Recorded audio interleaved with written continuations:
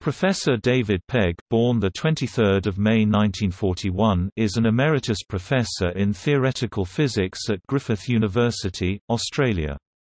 In his career, he has made numerous contributions to NMR, quantum optics and conceptual physics including the nature of time. His H-index is at least 38.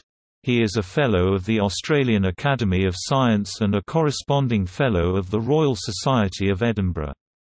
He is a recipient of the Harry Massey Medal for Australian Physics and of the Centenary Medal for his contribution to quantum theory. He is best known for the Pegg-Barnett phase formalism that provides a quantum mechanical description of the phase of light phys, rev.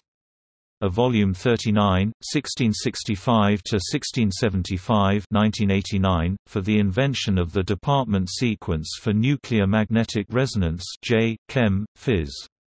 Volume 77, 2745, 2752, 1982, and for the invention of the quantum scissors device, Phys. Rev. Let. Volume 81, 1604 to 1606, 1998.